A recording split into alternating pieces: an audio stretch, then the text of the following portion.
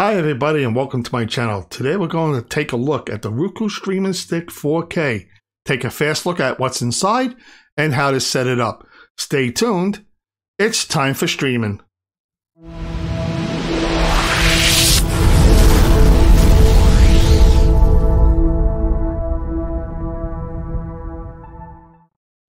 So a fast look to see what was inside the box.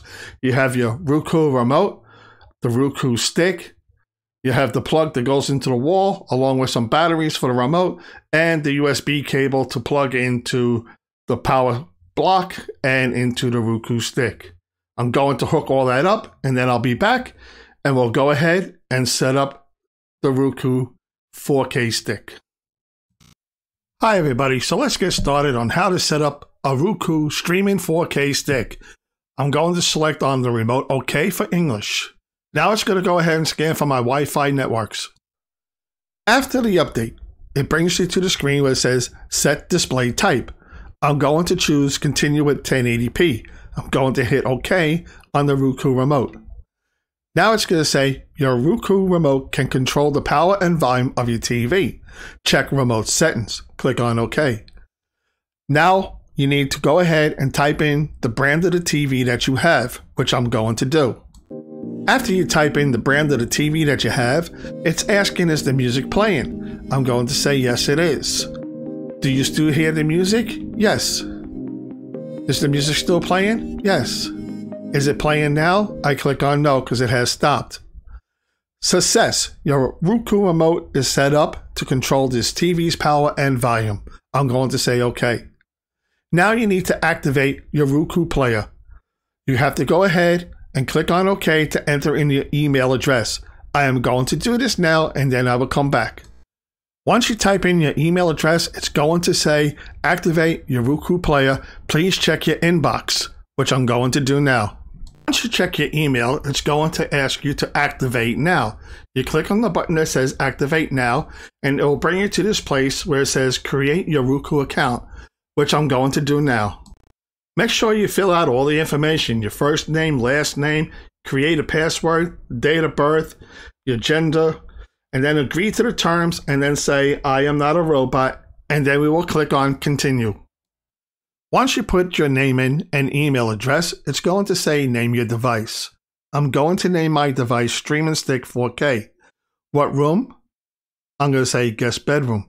Click on I have read and agree to the Roku product's terms of use. Click on continue. Now it's going to set, set up Roku Pay. I'm not going to do this, but if you want, you can. It's good too if you want to subscribe to streaming services or buy and rent movies. I'm going to skip this option, so I'm scrolling down to the bottom and say skip this step. Next, do you pay for cable or satellite TV? Yes, I will click on yes. Select your cable provider. Scroll through, see if yours is listed. If not, use the drop down arrow to select your provider. I'm going to do that, then click continue, and then I'll be back. After you have chosen your provider, it's going to ask do you currently subscribe to any of these services. Scroll through them, choose the ones that you do. I do Discovery Plus, and I will click on continue. Let's build your channel lineup. I like free movies and TVs. I like sports, food and home, music. I like local news. And now we'll go ahead and click on continue.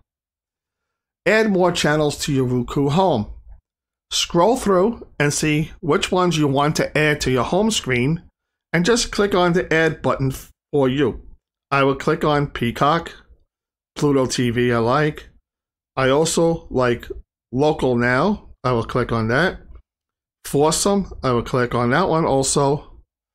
QVC, and I will go down a couple of more to see.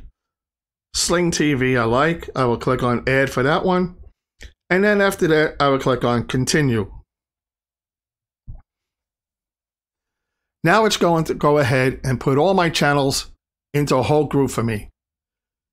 Now, there's other things you can do. You can sign up instantly and cancel anytime. These are offers.